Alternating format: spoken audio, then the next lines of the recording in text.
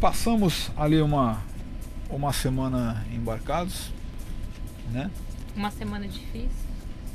Foi muito ruim, muito cansativo. Mas trabalhamos, né? O vídeo de quinta-feira não estava pronto até quarta, né? E os cortes também não são feitos sozinhos. E esses cortes Papo de Fogo agora foram assumidos pela nossa, a nossa editora chefe aqui, a Bia.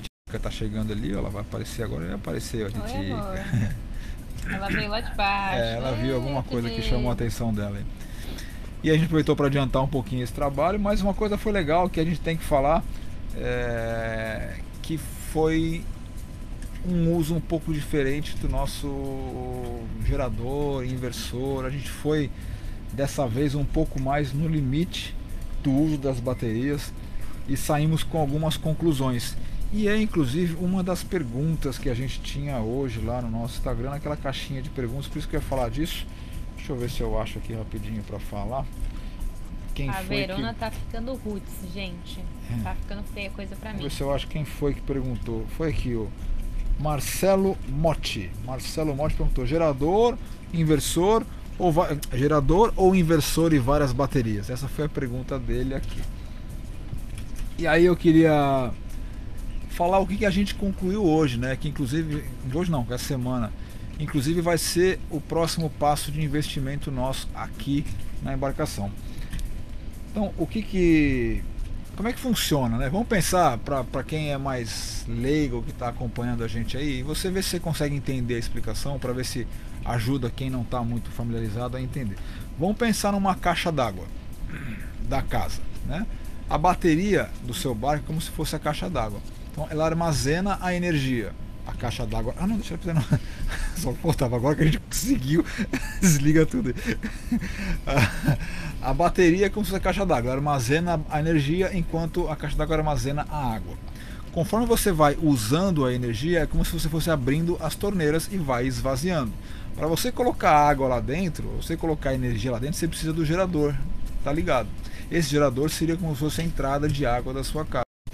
Então o que, que nós resolvemos fazer e vamos fazer nas próximas, nos próximos investimentos aqui no barco?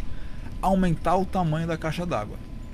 Então a gente vê talvez ter uma caixa d'água como a gente tem outra, a gente vai ter duas. Não sei se a gente vai conseguir dobrar a capacidade, mas a gente vai colocar mais bateria para armazenar para armazenar mais. E aí qual o segundo ponto que é importante entender? Não adianta você ter mais bateria se você não conseguir colocar mais água para dentro da tua caixa d'água. Né? Então a gente está entendendo aí a instalação de um segundo carregador de baterias. Então, o que, que isso quer dizer?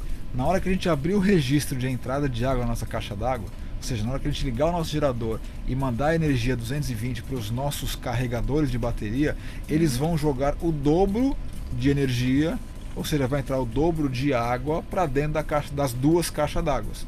Então, na prática, a gente entendeu que a gente consegue ficar praticamente o dia inteiro sem gerador ligado, com o uso do nosso barco quase normal. Chegamos a usar durante vários dias as três geladeiras, né, que são as duas aqui de baixo e a do Fly. E eh, depois, quando a gente ficou com menos coisa, que a gente ficou sozinho os dias, a gente acabou usando só uma geladeira, que é a que tem o congelador. A gente ficou nessa, que tem o congelador, né? Nessa, se- nesses dias, a gente ficou com o gerador ligado na faixa de 3 horas por dia. 4 À noite horas só, no né? máximo à noite. Né? Que aí liga o boiler, esquenta a água, a gente toma banho, enquanto isso tá carreg- estão carregando as baterias. Então a ideia é diminuir de 4 horas por dia de gerador para 2 horas por dia de gerador. Para a gente poder ter é, o mesmo uso durante o dia da nossa geladeira, carregando as coisas, televisão que a gente assiste todo dia até tarde, né? Ficam todos os dias com ligados na nossa televisão. É, então, para a gente ter menos tempo de gerador ligado, a gente vai investir num outro carregador de bateria e vai investir também né, em mais bateria para poder ter mais autonomia. Ficou claro? Sim. Acho que deu para entender, né? E aí, nesse sentido, eu acho que a gente pode entrar numa coisa que deve ser a maior novidade do São Paulo Boat Show desse ano. Não sei se é a maior novidade, mas é- é uma coisa que já se fala há muito tempo e aos poucos, é óbvio que esse passo não ia ser dado de forma radical, não era de uma hora para outra que ia se virar uma chavinha e todos os barcos vão ter motor elétrico, por exemplo. Né? O primeiro passo é a gente conseguir a sustentabilidade da casinha. E nesse sentido, a Solara está lançando o primeiro barco sustentável do Brasil. Essa é a, a propaganda deles. E o que quer dizer isso? Ah, os veleiros já fazem. Realmente, os veleiros já fazem. Até hoje nunca tinha se feito para lancha, né? E existia um grande problema. E aí eu tenho certeza que vai ter um monte de gente lá, um monte de especialista que vai dizer que não é possível, não é possível, não é possível, não é possível, mas eles conseguiram é, ter o ar condicionado funcionando com as baterias do barco.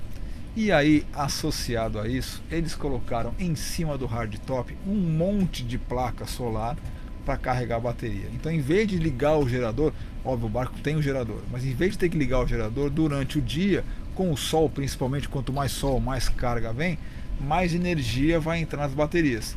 E aí eles têm tudo no barco de comodidade, televisões que já são 12 volts, tem várias coisas já preparadas para 12 volts para poder se sustentar com o tanto de bateria que tem no barco e com o tanto de energia que vai vir das placas solares. Porque aí você pensa, beleza, para quem vive a bordo, pode ser difícil ficar muito tempo ali com a energia só das baterias. Mas para quem vai passar um fim de semana, dois, três dias embarcado, você sai da sua marina já com, a, com as baterias bombando no máximo. A gente sentiu isso, lembra nos primeiros dias? Eu falei, nossa, a bateria está durando um monte. Sim. Ela vem com uma carga muito grande de ficar ali, uma carga lenta do carregador o tempo todo. Então você vai sair com a sua, a sua Solar 37 é, a, a sustentável, e na verdade não sei nem se ela tem um nome específico, se o Celso estiver aqui ainda ele pode dizer pra gente.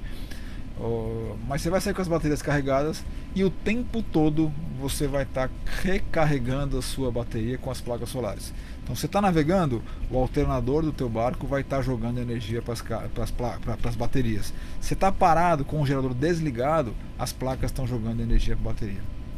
E aí você vai ter energia para tudo. E a princípio a única coisa que não está sustentando no barco deles é o fogão elétrico. Só que a gente já está usando o fogão a gás há muito tempo, né?